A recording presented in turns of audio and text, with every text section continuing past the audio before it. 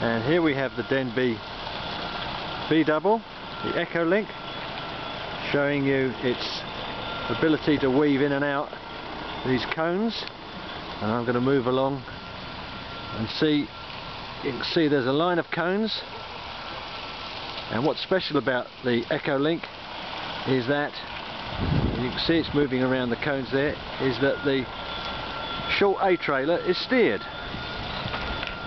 Terry, Denby's driving Supremo, is taking it through the cones. You see? Good manoeuvrability.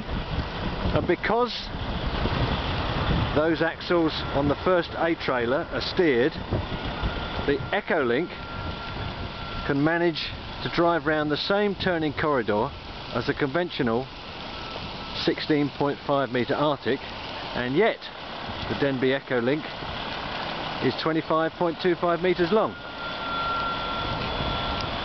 and that shows its manoeuvrability and steering potential.